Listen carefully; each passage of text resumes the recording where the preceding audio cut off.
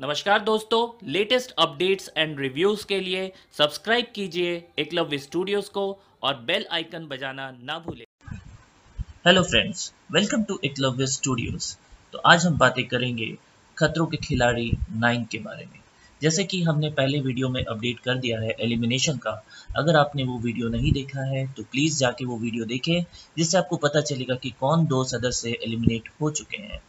दूसरी बात, अगर आप हमारे वीडियो में पहली बार आ रहे हैं और अगर आपने सब्सक्राइब नहीं किया है तो प्लीज़ हमारे वीडियो को ज़रूर सब्सक्राइब करें, हमारे चैनल को ज़रूर सब्सक्राइब करें, हिट द लाइक बटन अगर आपको हमारे वीडियोस हमारे रिव्यूज़ अच्छे लगते हैं तो। अब हम बातें करते हैं अपडेट्स की। तो जो अपडेट्स अभी सामने आ रहा है, वो है कि जैसे कि आप जानते हैं विकास गुप्ता को, जो कि बिग बॉस 11 में मास्टरमाइंड के ख्याति उनको मिला था, मास्टरमाइंड उनको हम कहते थे। अब खतरों के खिलाड़ी नाइन में उन, उनको एक इंजरी हो गई है और उन्हें इंजरी हुई है, एक सांप ने उन्हें काट लिया है। वो सांप है पाइथन दरअसल ये बात ये हो रही थी कि जो सांप थी, वो भारती को काटने जा रही थी but Vikas Gupta I think उन्हें बचाने के चलते उनको सांप काट लिया है, जिसके कारण वो इंजर्ड हो गए हैं। दूसरी बात जो सामने आ रही है, वो है आदित्य नारायण की।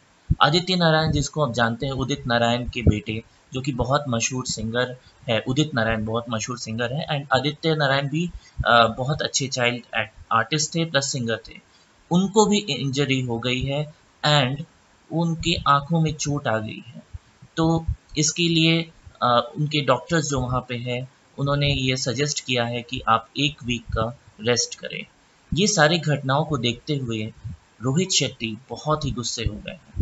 क्योंकि उन्हें अच्छा नहीं लग रहा है कि सेट में उनके कंटेस्टेंट इस तरह से इंजर्ड होते जा रहे हैं। तो आपको क्या लगता है कि क्या प्रिवेंशन इस बार बहुत ही वीक हो रहा है अर्जेंटीना में? अगर आपको आपको ऐसा लगता है तो आप ज़रूर कमेंट सेक्शन में कमेंट ज़रूर करें। हो सकता है कि एपिसोड देखने के बाद ज़रूर आपको ये अंदाज़ा मिल जाएगा बट आप फिर भी कमेंट करते रहें एंड हमसे जुड़े रहने के लिए आप हमें फिर से सब्सक्राइब कर सकते हैं अगर आपने नहीं किया है तो।